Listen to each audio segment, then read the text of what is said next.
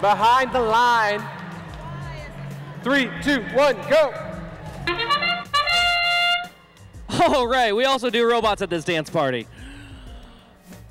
So far, Blue Alliance, we got two yellow totes into the center autonomous zone. If we, they could have gotten that third one in and that third robot in, that would have been a heck of a lot of points.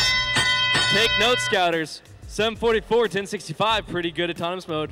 5753, their autonomous mode also landed their robot.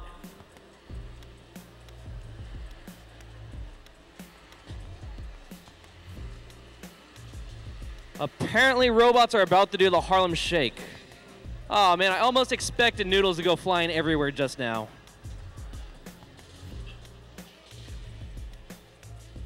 Team 744, Shark Attack, holding four totes in their possession, bringing them over. Two stacks of two, stacking them up two by two, two by two.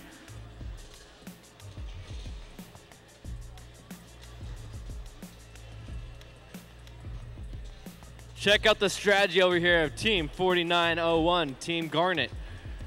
They have a tethered robot. That robot is not detached. You have two robots there. Looks like they have one specifically just designed so that they can launch those containers onto the field and stack them up nice and neat without them falling over. Very cool.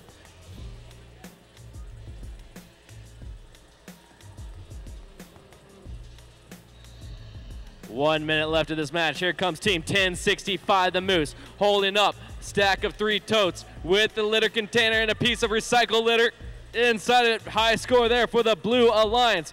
1065, the Moose back for more.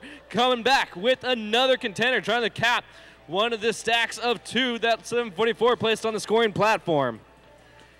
40 seconds left of this match. Let's see if Team 56, 28, Team Cyborg Chakra can get that piece, that container tote up onto the step.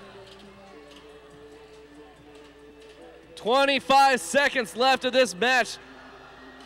56-28 trying so hard. Oh no, 10-65 knocked down the stack that they had been building. 15 seconds remaining in the match. Blue did an excellent job littering the field with those pool noodles. Five seconds left. Three, two, one.